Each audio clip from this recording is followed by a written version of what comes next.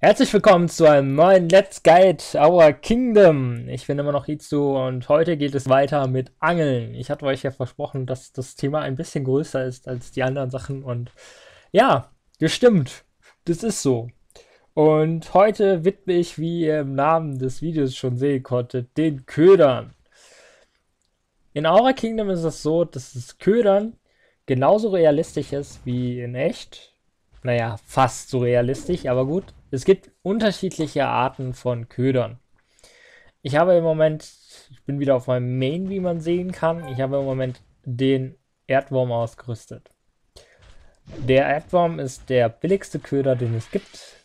Das ist der Standardköder und wahrscheinlich auch der meistverbrauchteste Köder im Spiel, weil er für AFK-Angeln benutzt wird. Äh, man sieht hier jetzt, dass ich das Poseidon-Set anhabe. Das ist quasi äh, das Angelset, das beste Angelset, was ich im Moment habe. Und mit diesem Angelset kann man sehr gut Goldfische angeln. Aber dazu komme ich in einem anderen Video, wie man diese Goldsets bekommt. Auf welche Art und Weise. Das ist erstmal nur interessant. Wir gehen aber jetzt einfach mal davon aus, in diesem Video auch ein bisschen davon aus, dass ihr schon ein Goldset habt. Also Niziamo oder also Niziamo ist ja kein Goldset in dem Sinne. Also ihr habt auf jeden Fall ein Set, mit dem ihr Goldfische angeln könnt. Das ist wichtig. Denn sonst würde ein gewisser Part von Ködern überhaupt keinen Sinn machen in diesem Video. Ich muss das jetzt machen, weil dieses Wissen über Köder ist einmal wichtig, um nachher die Goldfische zu angeln. Auf der anderen Seite ist dieses Wissen von Ködern aber halt auch wichtig, um die Vorbereitung zu machen für diese Goldfische. Denn die Köder von den Goldfischen kann man auf zwei verschiedene Arten bekommen, im Gegensatz zu allen anderen Ködern. Dazu aber auch später mehr. Wir widmen uns jetzt erstmal den einfachen Ködern. Es gibt halt diesen Erdwurm. Dieser Erdwurm, mit dem könnt ihr in einem normalen Fischschwarm alles angeln. Ihr habt alles, kann dort rauskommen, was in einem normalen Fischschwarm drin ist. Also ähm, alles von weiß bis orange. Goldfische spawnen ja extra. Das heißt, das ist der individuelle Köder. Den könnt ihr überall nutzen, auf jeder Karte, wo es Fische gibt. Also nicht Navia, wo wir uns gerade befinden, und auch nicht ähm, in der Schneekoppe. Dort gibt es keine Fische. Aber ansonsten könnt ihr diesen Köder wirklich überall nutzen. Es ist scheißegal, ob ihr in Skandia angelt oder im Eisfeld. Das ist egal. Ihr könnt den Köder überall nutzen. Also es gibt keine Levelanforderungen. Diese Levelanforderung kommt eigentlich über das Angelset. Je höher dein Angelset ist, desto besser sind auch die Werte. Das heißt, wenn ihr ein Angelset für Level 40 habt, sind damit Fische im Eisfeld schwieriger als Fische in Skandia allgemein sind Fische halt. Es gibt da einen Unterschied, den merkt man nur kaum, wenn man ein gutes Angelset hat, weil die normalen Fische dort wirklich überhaupt kein Problem mehr sind. Deswegen, ja. Jedenfalls, wir widmen uns jetzt den Köder, bevor ich hier noch länger rumlaber und eigentlich noch gar nichts gezeigt habe. Wir haben ja hier das normale Angelset einmal beim Händler. Im Moment hört ihr ganz viele Background-Geräusche, weil gerade eben übrigens ein Goldfisch war. So sieht das Ganze aus wenn dann mal die Spiele angemacht werden. Ja, ich habe eben auch den Goldfisch geangelt. So, aber jetzt gehen wir mal zu den Fischködern. Das ist nämlich jetzt interessant. Wir haben hier einmal den Erdwurm, der kostet 18 Silber. Ihr holt euch in der Regel davon 1000 Köder, dann habt ihr 18 Gold ausgegeben. Ja, ist ja ganz einfache Mathematik. 18 mal äh, 18 Silber mal 1000 ergibt 18 Gold, weil ja 1000 Silber logischerweise ein Gold sind. Und deswegen wird dieser Köder zum AFK natürlich geholt, weil alles, was orange ist, kriegen wir ja eh nicht geangelt. Aber was daran cool ist, in der Regel, wenn ihr in einem hohen Gebiet angelt, als sowas wie Geierplateau, könnt glaube ich auch in der Gilde angeln und so weiter, ihr kriegt diese 18 Gold tatsächlich mit diesen 1000, 1000 Ködern raus. Wenn ihr anwesend angelt, also nicht im Anwesen, sondern anwesend heißt, ihr angelt wirklich selber, die orangenen Fische raus, habt ihr natürlich auch eine gewisse Wahrscheinlichkeit, dass ihr deutlich mehr Gold rausbekommt. Die Wahrscheinlichkeit, einen Diamantfisch zu bekommen, ist aber verschwindend gering. Aber solltet ihr einen Diamantfisch rausbekommen, habt ihr 18 Silber ausgegeben für diesen Köder und bekommt 50 Gold dafür.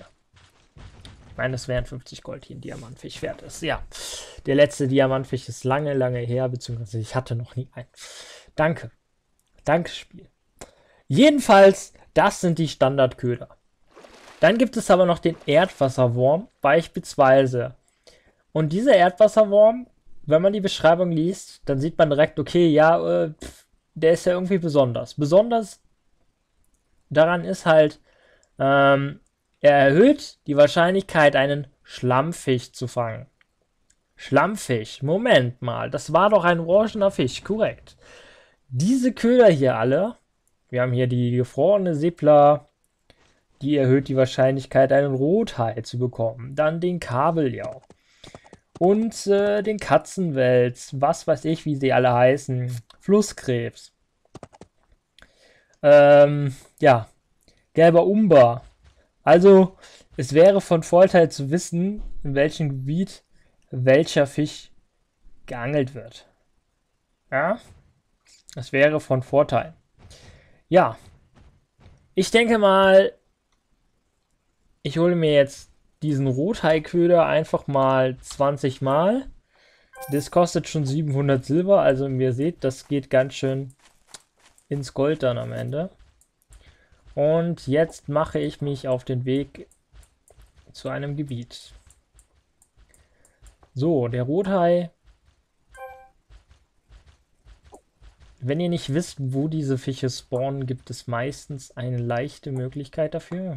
Ich bin das von Eden Eternal wirklich nur eingefleicht gewöhnt, dass die Erfolge woanders stehen, als sie hier stehen. So, dann gehen wir auf Angeln. Denn äh, ich habe alle ganz großen äh, Dinger schon. So, Bronzehai fangen. Steht hier irgendwo drin, wo man den bekommt? Nein, natürlich nicht. War ja klar.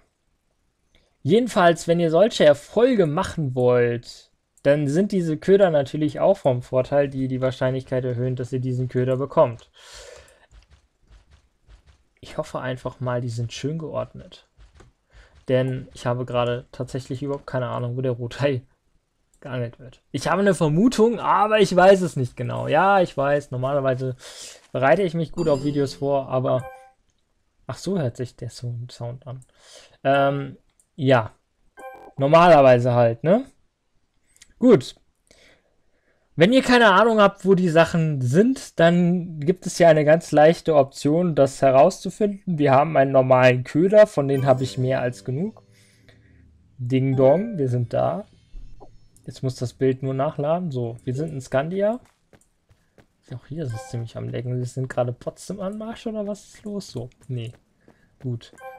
Also wir sind jetzt in Skandia. Und ja, Ich habe den normalen Köder ausgerüstet und hier angelt irgendjemand. Das höre ich ganz genau. Ich höre nämlich gerade über Kopfhörer. Tatsächlich, da angelt jemand. So. Der angelt wahrscheinlich AFK. Keine Ahnung. Jedenfalls, jetzt angeln wir einfach.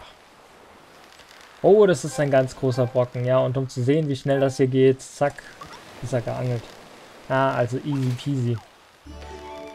Und was haben wir geangelt? Einen Rothai. Cool.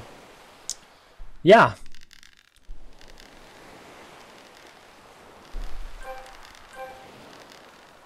Das ist ja cool. Wir haben schon wieder einen Rothai geangelt. Also ihr seht, der Rothai, den kann man hier angeln. Und wenn ihr den Erfolg machen wollt, ist das ganz cool, weil dann angelt ihr nur Rothaie. Ich angel gerade auch irgendwie so nur Rothaie. Das ist langweilig. Wofür brauchst du dann den Köder? Mein Gott, Spiel. Ich will hier einen Guide machen und du machst so eine Scheiße. Ohne Witz. Jetzt gib mal einen anderen Fisch. Genau, ein kleiner Fisch nur. So ein, so ein lame 0, 0 plus unter Gedönsfisch da. Makrele, cool. Ich hätte gern mal den ganz tollen Fisch, ja? Genau so war's. Es wird die Angelschnur, da müsst ihr dann angeln. Also man kann das Ganze auch wirklich so machen, im Bett chillen nachts, vorm Laptop, Augen zu und wenn kommt, schnell aufhechten und angeln. Coole Idee. Ich muss schon sagen, das ist wirklich legendär. Ja, Bronzehai. Ich würde ja gerne nur diesen Bronzehai angeln, aber gut. So, wir nehmen jetzt mal den Köder, wo man nur den Rothai bekommt. Und das Lustige daran ist, der soll ja die Wahrscheinlichkeit erhöhen, dass man einen Rothai bekommt. Das erste, was ich bekomme, ist wieder eine Makrele. Ja, das läuft ja gut. Aber theoretisch sollte die Chance jetzt höher sein. Das steht da zumindest so. ja? Also ihr könnt diesen Köder wirklich gezielt dafür einsetzen, Rothai zu bekommen. Warum sollte man das machen? Nun, aus diesen Fischen kommen ja Angelrüstungen raus. Und diese das ist doch nicht zu fassen. Wie soll die Wahrscheinlichkeit erhöhen, einen Rothai zu bekommen und... Ah. Geil. Der Köder läuft. Also der funktioniert echt Bombe. Muss ich schon sagen. Theoretisch sollte die Wahrscheinlichkeit höher sein, einen Rothai zu angeln. Praktisch habe ich das bisher noch nicht sagen können. Ja, also Erhöht Chance auf Rothaifang, ja. Der normale Köder hat mir mehr geholfen. Das war wahrscheinlich Glück, Leute. Das war wahrscheinlich Glück. Ja. Ihr könnt dann auch hier wieder AFK angeln, wie ich es im ersten Video gezeigt habe. Das ist ja vollkommen uninteressant. Und ja. Das waren die beiden unterschiedlichen Köder. Ich konnte jetzt nicht wirklich zeigen, dass der Rothai öfters kommt beim normalen Köder als bei dem. Jedenfalls, wofür machen wir den ganzen Mist? Äh der will eine Fleckengalaxie. Was will der denn damit? Immer schön Angelquest am Ende. Schon haben wir eine Hechtmakrele bekommen. Das ist super. Haifischschuhe, okay. Ja, bei dem Händler hier können wir natürlich auch die Fischköder holen. Oder Angelshop Spezial. Und man kann natürlich auch so ein Fischköder-Box hier nehmen. Dort können alle möglichen Arten von Köder rauskommen. Und das sind beides Goldfischköder. Die kann man hier bei dem Händler nicht holen, ne? man sieht es ja schon. Ja, viel interessanter als diese Bronze-Hai-Köder sind natürlich die Hai Köder, mit denen man die orangenen Fische, Fische sehr oft bekommt. Warum? Nun ja, aus den orangenen Fischen können natürlich ganz coole Sachen kommen. Ja. So eine tolle Beada. Habt ihr ja gesehen. Ich schwimme schon wieder. Ich will nicht schwimmen, ich will angeln. Ähm, so eine tolle BA. Die Köder für die Goldfische. Es ist wirklich... Ihr müsst selber entscheiden, ob euch das was bringt. Weil ihr seht es ja gerade. Es erhöht halt nur die Wahrscheinlichkeit. Es lohnt sich aber halt wirklich nur bei großen Sp Stückzahlen und dort geht es ganz schön ins Gold.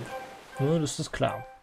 Weil äh, die Spezialköder sind natürlich deutlich teurer als der normale Köder. Aber ihr habt nun mal die Möglichkeit aus so einem Bronzehai viel Gold rauszubekommen. Und jetzt sieht man hier schon, ja, wow, das Biest ist echt zäh. Das kommt ziemlich oft, ne? Sehr praktisch. Ja. Dieser Köder lohnt sich also wirklich, also in meinen Augen lohnen sich die Grünköder. Wenn ihr vor einem Goldfisch seid und keinen Bock habt für die Goldfische äh, Angelmünzen auszugeben, denn diese ganzen tollen Köder hier, die kosten Angelmünzen. Und ich möchte mal anmerken, ich angel heute an dem Tag, wo die Hechtmakrele gebraucht wird. Ja, ich habe mich also bewusst für Scandia entschieden. Das in Scandia zu machen, denn beim Goldfisch braucht man dann nachher den Köder. Ja, wir haben aufgehört zu angeln. Woran liegt das? Ja, keine Köder mehr. Der da angelt schon äh, fleißig weiter mit. Der hat 1000 Köder. Ja, die kann man jetzt wieder aufmachen. Zack, einen Goldfisch rausbekommen. Und zack, Bronzehai Unterkiefer. Das ist Material, das braucht man hierfür jetzt nicht, aber ja, für gewisse Sets. So, wir gehen zurück nach Navia. Dort beende ich das Video auch, was jetzt doch schon ganz schön lange geworden ist. Deswegen habe ich das mit dem Angeln so ein bisschen aufgeteilt. Und äh, ich zeige euch jetzt nochmal den ganz besonderen Händler, für den ihr Angelmünzen braucht. Das ist normalerweise kein Problem. Denn wenn ihr anfangt Goldfische zu angeln, holt ihr euch als erstes das Nizemon Set. Und dieser Nizemon, äh, der droppt halt, das ist, ist der Pinguin. Deswegen nenne ich das Set auch demnächst nur noch Pinguin-Set in dem Guide, wo ich es vorstelle. Guck, hier sind immer noch ganz viele Spieler. Die kreisen alle hier um Annette herum. Warum um Annette? Ganz einfach, Annette ist cool. Denn Annette ist der Angelmünzenshop. Und ihr seht direkt schon Buntmakrele. Ja. Damit kann man logischerweise eher Bronze Haie angeln. Das ist cool. Ihr könnt also wirklich die ganz besonderen Köder auch für Angelmünzen holen. Aber das sind eher un die, die holt man eher weniger. Ja, also klar könnt ihr das machen, aber interessant sind halt die hier hinten. Denn diese Köder sind für den Goldfisch da. Das ist hier Hechtmakrele, habe ich einen. Und was auch an dem Shop cool ist, ihr könnt halt solche Materialien hier verkaufen, die ihr aus den rausbekommt. Ihr könnt theoretisch die Köder verkaufen. Äh, die bringen auch Angelmünzen. Ihr könnt hier die Materialien verkaufen, die ihr aus den Goldfischen bekommt. Und so kommen dann nach und nach ganz viele Angelmünzen zustande. Man sieht das ja hier, 116.000 Angelmünzen. Ja, ihr könnt ja auch den Goldfisch verkaufen, der bringt ein Gold. Der Platinfisch bringt ja ein bisschen mehr. Also ihr seht schon, letztendlich haben sich jetzt die Köder schon fast wieder rentiert bei mir. Ich habe das äh, Gold jetzt wieder rausbekommen. Es macht also wirklich Sinn, den Köder zu nehmen. Auf Dauer, also wenn man wirklich viel angeln möchte und gezielt angeln möchte, für ein Set oder für Gold, diesen Köder zu holen, der die Wahrscheinlichkeit hat, den Goldfisch zu bekommen in einem Gebiet. Ihr holt euch den dann quasi. Hier Regenschurken, Schuppenbrat Beispiel, dann habt ihr die Eisfeld Winterschildkröte, das ist die spezielle Schildkröte im äh, Eisfeld. Ja, könnt dort, ihr gebt für den Köder 20 Angelmünzen aus, also ja, wenn ihr 100 holt, dann sind das 2000. Das ist deutlich weniger. Also wenn ihr da dann aus diesen 100 tatsächlich 20 Köder rausbekommt, dann habt ihr gespart. Weil der Königsschuppenbarsch, das ist der Köder für die Schildkröte, kostet 245 Angelmünzen. Mit 2% weniger, weil ich schon ein großes Angellevel habe. Also ihr müsst dann am Anfang, wenn ihr noch kein Angellevel habt, noch 2% drauf tun. Aber dann fangt ihr sowieso eher so in den niedrigen Bieten an, ehe ihr ein besseres Angelset habt und dann im Eisfeld angeln könnt. Ja, das sind die unterschiedlichen Köder, ich habe jetzt die größtenteils gezeigt, wie man die einsetzt, bis auf Goldfisch. Warum habe ich einen Goldfisch nicht gezeigt? Nun, es wird ja sowieso ein Video geben, in dem Goldfisch geangelt werden, bzw. die Vorbereitung dafür gemacht wird, wie man das Angelset bekommt und wie man dann einen Goldfisch angelt. Ich hoffe, euch hat das Video gefallen. Ich hoffe, ich habe nicht so viel Scheiße hier gelabert und uninteressantes Zeugs, sondern ich konnte euch die Welt der Köder ein bisschen näher bringen es macht durchaus Sinn, sich damit auseinanderzusetzen und zu gucken, okay, wenn ich jetzt diesen orangenen Fisch angeln möchte oder ich möchte jetzt den Erfolg machen und da brauche ich nur den einen Fisch so und der Rest ist mir scheißegal und ich bin bereit dafür ein bisschen Silber mehr auszugeben, dann macht das durchaus Sinn, die Köder durchzugucken, den speziellen Köder für den Fisch rauszusuchen und dann anfangen zu angeln. Ja, ich wünsche euch weiterhin viel Spaß beim Angeln, Leute. Haltet die Ohren steif, levelt schön auf Level habt Angel Level 10, holt viele Goldfische raus und ja, ansonsten auch viel Spaß mit Our Kingdom. Schreibt mir in die Kommentare, wie ihr das Video fandet. Und ja, wir sehen uns dann beim nächsten Video. Euer Izu.